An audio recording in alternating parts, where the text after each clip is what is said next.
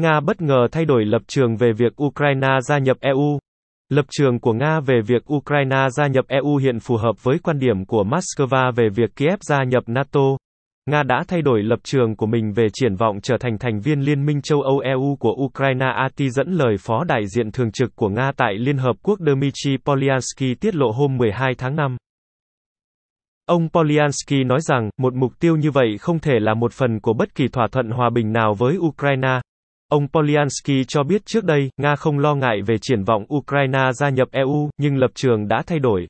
Phó trưởng đại diện Nga tại Liên Hợp Quốc giải thích rằng chất xúc tác là hành vi của EU kể từ khi Nga tiến hành cuộc chiến dịch quân sự ở Ukraine vào cuối tháng 2. Moscow cảm thấy rằng EU đã trở nên hoàn toàn liên kết với NATO do Mỹ dẫn đầu. Ông Polyansky đặc biệt chỉ ra một tuyên bố gần đây của cao ủy EU về chính sách đối ngoại Joseph Borrell, trong đó quan chức gốc Tây Ban Nha công khai bày tỏ ủng hộ giải pháp quân sự cho cuộc xung đột hiện tại. Chúng tôi từng không quá lo lắng về Liên minh châu Âu. Nhưng tình hình đã thay đổi sau tuyên bố của ông Borrell rằng cuộc chiến này nên giành chiến thắng trên chiến trường và sau khi Liên minh châu Âu dẫn đầu trong việc cung cấp vũ khí đến Ukraine. Tôi nghĩ rằng quan điểm của chúng tôi đối với Liên minh châu Âu hiện nay giống với NATO hơn bởi vì chúng tôi không nhận thấy sự khác biệt lớn, ông Poliaski nói. 5S, dấu lớn, xung đột đã leo thang đến mức không còn chỗ cho ngoại giao, ông Poliaski thừa nhận. Nhà ngoại giao Nga đổ lỗi cho những gì ông mô tả là thiếu đối thoại mang tính xây dựng, Kiev không có khả năng giữ lời hứa và những nỗ lực của phương Tây nhằm kéo dài tình hình thù địch. Thành thật mà nói, tại thời điểm này, tôi không thấy có khả năng ngoại giao về Ukraine. Khi phương Tây thúc đẩy cuộc xung đột này, là một nhà ngoại giao, tôi phải thừa nhận rằng không có giải pháp ngoại giao nào ngay bây giờ ông Polyansky nhấn mạnh. Ông Polyansky từ chối cho biết bất kỳ ước tính nào về thời gian cuộc xung đột có thể tiếp diễn. Tôi không có quả cầu pha lê để dự đoán những điều như vậy ông nói. Nếu cuộc xung đột ở Ukraine được các nước phương Tây cố gắng ngăn chặn bằng cách thêm dầu vào lửa, tất nhiên nó có thể kéo dài trong một thời gian, nhưng sẽ không thay đổi toàn bộ nhịp độ của cuộc xung đột, sẽ không ngăn cản Nga đạt được mục tiêu nhà ngoại giao Nga tại Liên Hợp Quốc khẳng định. Ukraine đã nộp phần đầu tiên của bộ câu hỏi gia nhập EU vào giữa tháng 4. Khi xem xét hồ sơ gia nhập của các ứng viên, Ủy ban châu Âu đánh giá mọi lĩnh vực, từ hoạt động kinh tế của quốc gia đến hệ thống luật pháp, cùng với các quy định về môi trường và thực tiễn nông nghiệp. Quá trình này có thể mất nhiều thập kỷ ví dụ như Thổ Nhĩ Kỳ đã là ứng cử viên từ năm 1999. Chủ tịch Ủy ban châu Âu Ursula von der Leyen cho biết EU dự định đưa ra ý kiến về tư cách thành viên của Ukraine vào tháng 6 tới. Tuy nhiên, một số nước EU như Pháp và Áo cảnh báo rằng Kiev không nên mong đợi việc gia nhập EU nhanh chóng. Ngay cả khi chúng ta trao cho họ Ukraine tư cách ứng cử viên vào ngày mai, chúng ta đều biết rõ rằng quá trình cho phép họ tham gia sẽ mất vài năm, vài thập kỷ Tổng thống Pháp Emmanuel Macron nói. Tư cách thành viên đầy đủ của một quốc gia phụ thuộc vào sự nhất trí của tất cả các nước thành viên EU.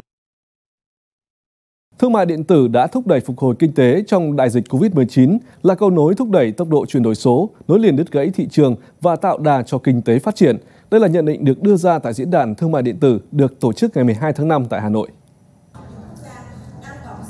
Nếu không có sự phát triển của thương mại điện tử thời gian qua, Việt Nam có thể sẽ mất từ 9 đến 12 tháng mới có thể phục hồi kinh tế sau dịch COVID-19. Tuy nhiên, sự kiểm soát dịch bệnh của chính phủ hiệu quả cùng sự thích ứng nhanh nhạy của thương mại điện tử đã không có ngành bán lẻ nào có thể đi nhanh kịp thương mại điện tử. Điều này đã giúp tốc độ tăng trưởng của ngành hàng tiêu dùng nhanh của ngành thương mại điện tử có gần 15%, gấp 5 lần so với các kênh khác. Cái vai trò của thương mại điện tử đã giúp cho nền kinh tế rất là nhiều. À, cũng cái đó là cái nguyên nhân mà để để cho mọi người xem rằng thương mại điện tử không phải là một cái kênh một cái kênh song hành với các kênh truyền thống mà đó là một cái kênh chủ đạo. Báo cáo tại diễn đàn cũng chỉ rõ tác động của Covid-19 cũng đã thúc đẩy nhanh sự tăng trưởng trong đại dịch và người tiêu dùng có xu hướng lựa chọn sản phẩm chăm sóc sức khỏe. Đứng từ góc độ người tiêu dùng thì chúng tôi cũng có một số số liệu rằng trong năm cái nhóm người tiêu dùng chủ yếu mà chúng tôi đã phân loại sau đợt đại dịch đây thì có những cái nhóm người tiêu dùng mà à, mặc dù là thu nhập của họ không bị ảnh hưởng trong à, sau đại dịch nhưng tuy nhiên thì họ cũng có đã đang có những cái cân nhắc về việc là sẽ phải cân nhắc lại cái khả năng chi tiêu à, và những cái nhóm cao cấp hơn là những cái nhóm mà không hề bị ảnh hưởng hoặc thậm chí có thêm thu nhập à, sau đại dịch thì à, ba cái nhóm này đều là những cái nhóm mà họ thường là đang có xu hướng là lựa chọn và được hấp dẫn bởi những cái sản phẩm mà có nguồn gốc xanh, ờ, biết bảo vệ môi trường ờ, và có những cái chia sẻ hoặc là những cái ờ, bảo vệ cả cộng đồng chung.